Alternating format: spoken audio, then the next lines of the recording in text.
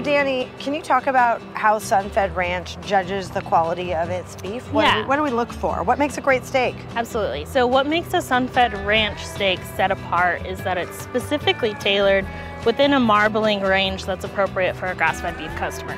Not too fat, not too trim, or not too lean that it's not going to deliver a good eating experience. It's really right there in the sweet spot.